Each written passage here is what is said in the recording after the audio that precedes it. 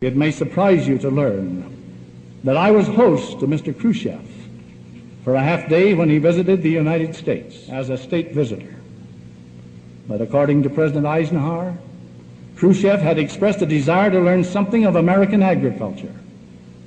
And after seeing Russian agriculture, I can understand why. As we talked face to face, he indicated that my grandchildren would live under communism. After assuring him that I expected to do all in my power to assure that his and all other grandchildren will live under freedom, he arrogantly declared in substance, You Americans are so gullible. No, you won't accept communism outright. But we'll keep feeding you small doses of socialism until you'll finally wake up and find you already have communism. We won't have to fight you. We'll so weaken your economy until you fall like overripe fruit into our hands.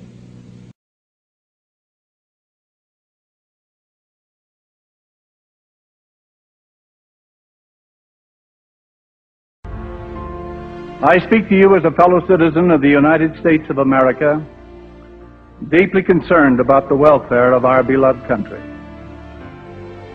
I am not here to tickle your ears, to entertain you. I will talk to you frankly and honestly. The message I bring is not a happy one, but it is the truth. And time is always on the side of truth.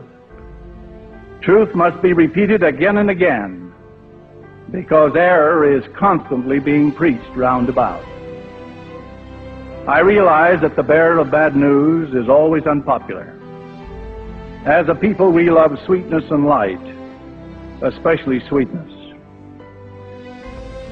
I am sorry to say that all is not well in so-called prosperous, wealthy, and powerful America. We have moved a long way and are now moving further and more rapidly down the soul-destroying road of socialism. The evidence is clear, shockingly clear, for all to see. With our national prestige at or near an embarrassing all-time low, we continue to weaken our domestic economy by unsound fiscal, economic, and foreign aid policies which corrupt our national currency.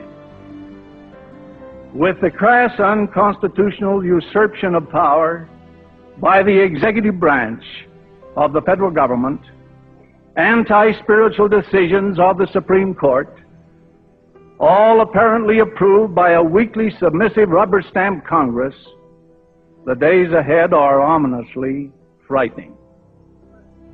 It is imperative that American citizens become alerted and informed regarding the threat to our welfare, happiness, and freedom. No American is worthy of citizenship in this great land who refuses to take an active interest in these important matters. Stand up for, for freedom, no matter what the cost. It can help to save your soul and maybe your country. May God give us the wisdom to recognize the danger, the dangers of complacency, the threat to our freedom, and the strength to meet this danger courageously.